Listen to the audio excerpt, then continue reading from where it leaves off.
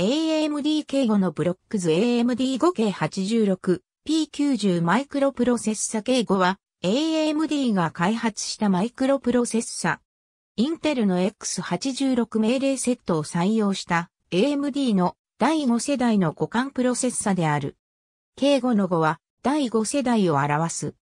K はクリプトンの頭文字だとされているが、製品内容との関係は全くない。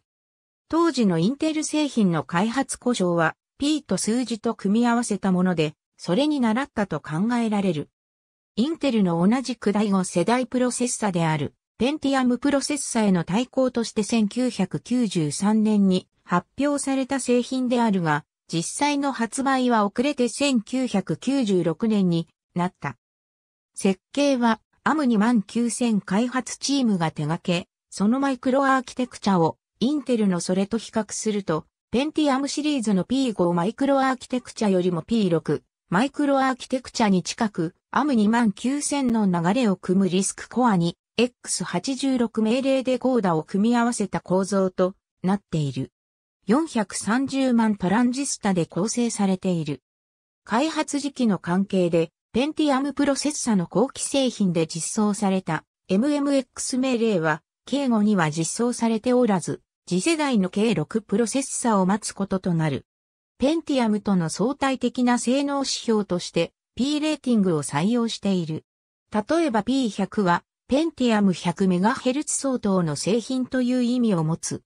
K5 プロジェクトによる AMD の目的は技術上のリーダーシップをインテルから奪うことだった。インテルの次世代、マイクロアーキテクチャの構造を先取りしていることから、方向性は妥当だったと言えるが、製造の面でそれを実現できるだけの量産設備を AMD は持っていなかった。アム2万9000から流用された、フプーによる不動小数点演算能力は、サイリックス 6X86 より優れていたが、ペンティアムには劣っていた。整数演算では、サイリックス 6X86 の方が優れていた。開発が難航し、発売が大きく延期されたことから、競合他社は、より高性能化していたことが成功しなかった大きな理由である。敬語には前期版の社内コード名差、5と後期版の同じく 5kg86 の2種類のバージョンが存在する。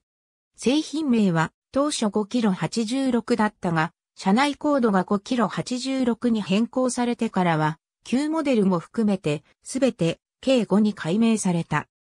商業的には成功したとは言い難いが、ペンティアム向けソケット後、7搭載マザーボードにおける動作後完成は、ライバルのサイリックス 6X86 と比較して、格段に高く、内部構造の相違から生ずる、命令実行クロック数の際に起因するソフトウェアのごくわずかな動作不具合が発生した程度に止まる。